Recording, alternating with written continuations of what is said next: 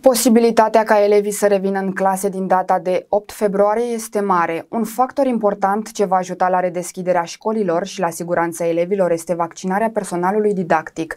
Peste 190 de profesori mehedințeni s-au vaccinat deja, iar peste 1000 sunt pe listele de așteptare.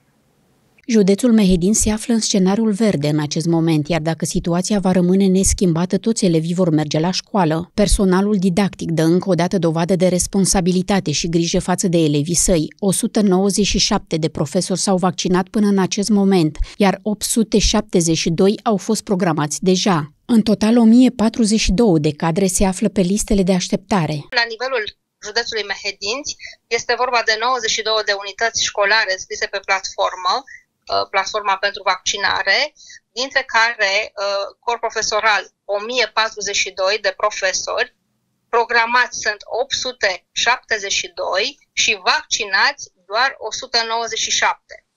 Din uh, personalul auxiliar sunt înscriși 78, din care 19 vaccinați și din personalul nedidactic sunt 226 uh, scriși, din care 23 vaccinați. Uh, sperăm ca uh, după ce vor veni dozele să se vaccineze mai mulți până la începutul semestrului. În jurul zilei de mâine va fi luată decizia cu privire la redeschiderea școlilor, programată pentru 8 februarie, atunci când elevii ar trebui să înceapă semestrul al doilea.